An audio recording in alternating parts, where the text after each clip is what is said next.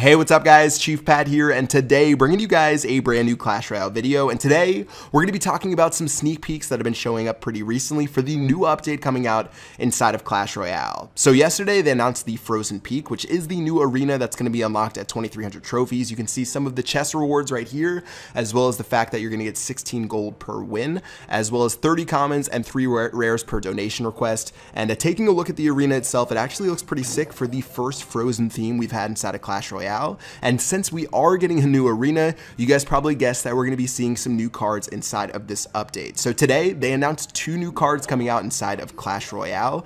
And the very first one we're going to be taking a look at is the Bowler, which you guys might remember from Clash of Clans. So the Bowler is going to be an epic card unlocked at the new Frozen Peak Arena at 2300 trophies. And as you can see, he is a 6 elixir card with an actually pretty substantial amount of hit points at 1729 uh, at level 4. This is the tournament standard for the bowler. I used him inside of a couple of battles. He's actually pretty sick as far as his tankiness goes. I know he could take two shots from an even level P.E.K.K.A, or actually three shots from an even level P.E.K.K.A, which is insane. And he's going to throw his rock and do crazy damage to multiple targets. But next up, we have the Ice Spirit. So the Ice Spirit is going to be a one elixir card to finally join the skeletons as a one elixir card inside of Clash Royale. And pretty much what the Ice Spirit does is you drop it on the ground, it's going to jump into a small group of enemies and be able to freeze them for a short period of time. So you can see here the freeze duration is 2 seconds and it can target both air and ground. But instead of talking about the cards, let's go ahead and check them out inside of a couple of battles and I'm going to show you guys how the Ice Spirit works first.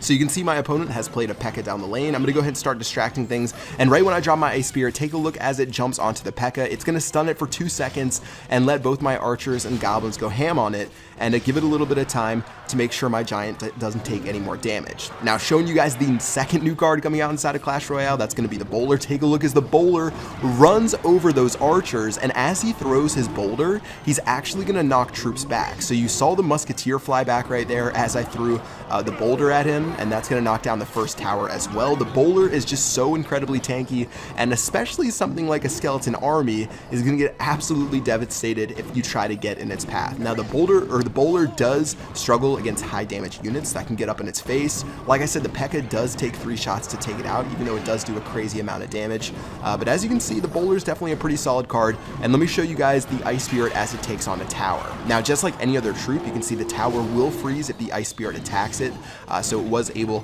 to get onto it and give my troops a little bit more damage. I feel like the Ice Spirit Spirit is definitely going to be a pretty common card for the fact that it's so versatile at one elixir, and serving as a mini free spell means it's going to be pretty devastating for the low cost of a single elixir. So again, these cards are going to unlock at 2300 trophies, and if you saw the sneak peek image today, they did hint that there's going to be two new legendaries coming out inside of the game.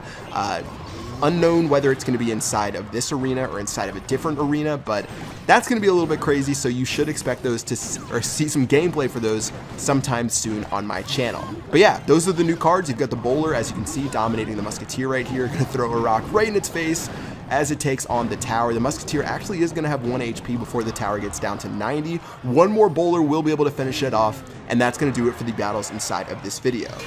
So make sure you guys stay tuned for the new sneak peek coming out tomorrow. I'll definitely make sure to show you guys on my channel. Again, I've been posting on Twitter, but I'm sort of on a remote island right now, and I don't have a ton of internet access, which has been really annoying for trying to make videos. So I uploaded this video at a Taco Shack. If it actually did upload, I'm praying the Taco Shack has good enough Wi-Fi's. But yeah, that is going to do it for this video. I hope you guys enjoyed it. If you did, make sure you drop a like. Until next time, I will see you guys later. Peace out.